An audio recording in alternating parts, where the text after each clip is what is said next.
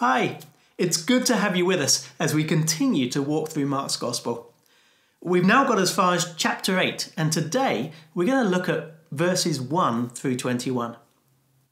As usual, in the video description, there's a link to an online Bible so you can read the passage for yourself.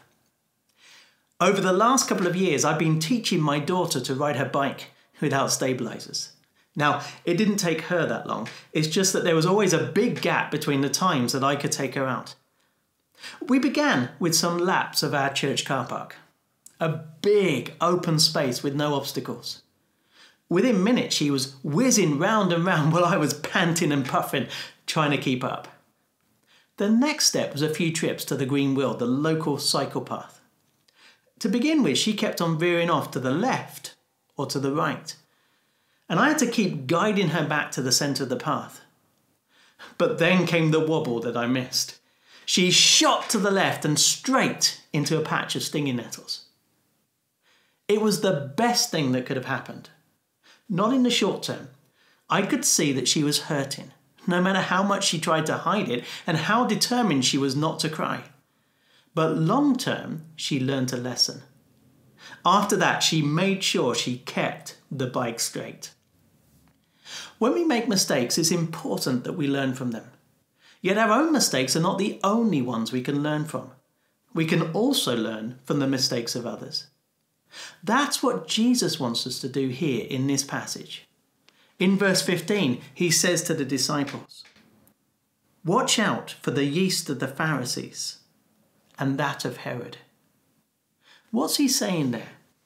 Well, essentially, he's saying to his disciples, don't make the mistake they've made. Don't follow them down the path they're walking.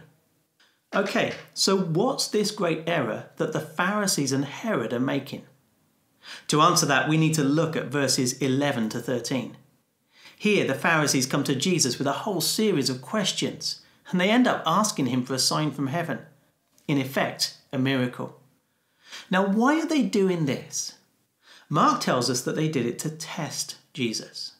You see, Jesus was claiming to be someone who had been sent by God. He was claiming to be God's king and teaching God's truth. Okay, the Pharisees say, if that's the case, prove it. Do something that shows us beyond a doubt that you are who you say you are. Well, what would Jesus do? How would Jesus reply? Mark tells us. He sighed deeply and said, why does this generation ask for a sign? Truly, I tell you, no sign will be given it. And then after he said that, he just upped and left. Now, you may be asking yourself, couldn't he have done a great miracle and put a stop to their doubt there and then? Well, yes, he could. So why didn't he? I think there's two reasons. First, Jesus is not a circus performer whose job it is to entertain people. He didn't come to perform miracles on cue. Then, second, it didn't matter how impressive the miracle was, these people still wouldn't have believed what he said. You have to remember, Jesus has already performed countless signs that demonstrate that he has come from God. Yet the Pharisees don't believe it. The problem is not in the lack of evidence, the problem is their hardness of heart and refusal to believe. This is the mistake Jesus warns his disciples about. Don't follow them down that path, he says. Don't fail to see what I'm doing and take note of what it means. It might surprise you that the disciples needed to be told this. They travelled around with Jesus day in and day out. They'd seen so much. They'd been with him on the lake when he calmed the storm and when he walked on water. They'd been there when he fed 5,000 plus people from a simple pat lunch. They'd seen him heal and drive out evil spirits. Over and over again, they'd seen signs that showed that Jesus had been sent by God, was speaking God's truth, and quite simply is incredible. Yet the reality is they still doubted, and they still hadn't put the puzzle together in their minds and hearts. This passage gives us two examples of this. In verses 1 to 13, we have an incident where Jesus fed 4,000 plus people from seven loaves of bread and a few small fish.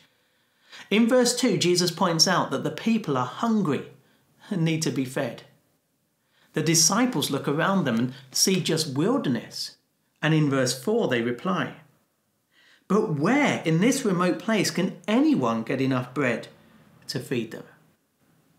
Did they not remember the feeding of the 5,000? They did. Verse 19 shows us that. They just hadn't got it yet. It hadn't sunk in. Their view of Jesus wasn't being transformed by what they were seeing. We see the same thing in verse 16. After Jesus tells them to beware of the Pharisees' mistake, Mark tells us they discussed this with one another and said, It is because we have no bread. At the mention of yeast, their minds immediately go to bread, and they start worrying about whether they have enough or not. Jesus speaks to them firmly, not about their lack of foresight when they last went shopping, but about their hearts. In verses 17 and 18, he says, Why are you talking about having no bread? Do you still not see or understand? Are your hearts hardened? Do you have eyes but fail to see and ears but fail to hear? You see, the disciples had seen a lot. They'd been around Jesus and experienced firsthand so many miracles, yet they struggled to see Jesus as anything more than the man in front of them, a carpenter from Nazareth, who had this uncanny ability to teach God's word. They didn't see that he is God's king. More, he is the Son of God. Why is this here in Mark's Gospel? It isn't here to embarrass the disciples. It's here so that we can learn from their mistake. You see, it's one thing to read through Mark's Gospel and be amazed at everything that happened. It's another to let these words transform our view of Jesus and to trust that he is who he says he is. Will we see and hear but then move on unchanged? Or will we see and hear and believe? Will we learn from their mistake?